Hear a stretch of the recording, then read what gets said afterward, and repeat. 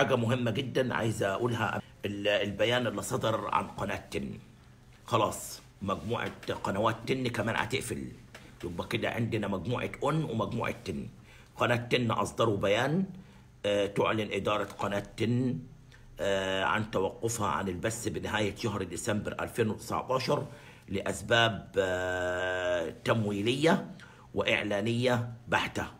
يأتي هذا القرار الصعب انطلاقا من حرص القناة على الوفاء بالتزاماتها المالية تجاه موظفيها وتعاقداتها وتعاقداتها التشغيلية. واستباقا لأي صعوبات مالية تواجهها القناة في المستقبل نتيجة ضعف الإعلانات على شاشة القناة. عملت قناة تن منذ تأسيسها في العام 2017 في إصلاح في مناخ إعلامي إيجابي. منحها هامشا واسعا من الحرية التحريرية والفنية وساعدها على تقديم مختلف وجهات النظر في مختلف القضايا التي تهم المشاهد المصري والعربي على حد سواء.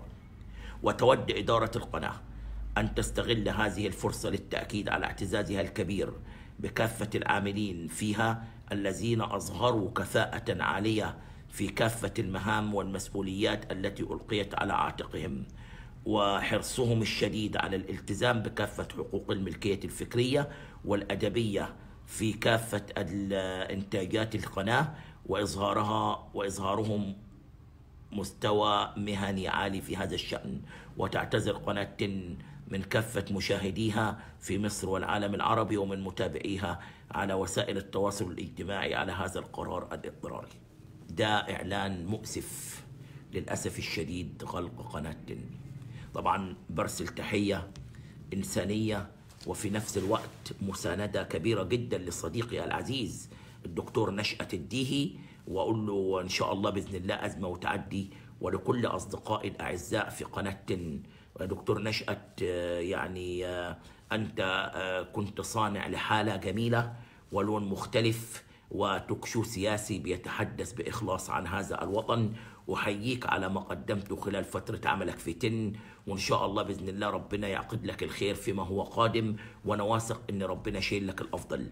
ولكل زملائي العاملين في قناة تن هكذا الدنيا يوم لك ويوم عليك. من سره زمن ساءته أزمانه ومن ساءه زمن سرته أزمانه. هي الدنيا.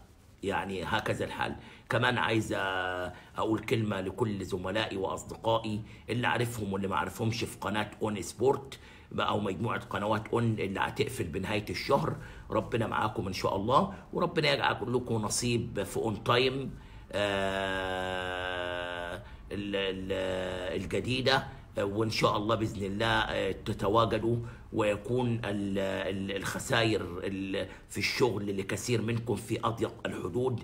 أنا بزعل جدا جدا جدا لما بيت بيتقفل ولكن هي سنة الحياة. نحن نعيش مرحلة صعبة في الإعلام المصري ولا بد أن نكيف نفسنا عليها وألا ننتظر آه، إن إحنا نقعد نشكي ونتشاكى. ولكن لابد إن إحنا نفكر بره الصندوق ونعمل حاجة علشان خاطر مستقبلنا وأولادنا وبلدنا.